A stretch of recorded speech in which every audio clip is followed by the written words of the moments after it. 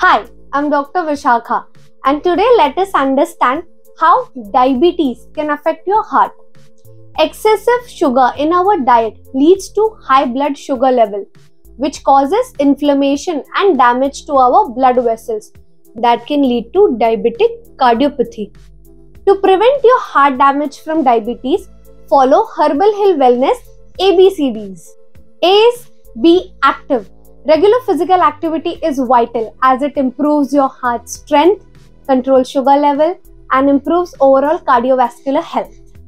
B is blood sugar levels. Monitor your blood sugar levels regularly. Ayurveda emphasizes on balanced diet that is rich in whole food to stabilize blood sugar levels. C is chase numbers. BMI, weight, blood pressure.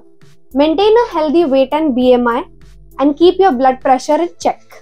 D is for diet. Pay attention to what you eat. Choose nourishing and easily digestible food.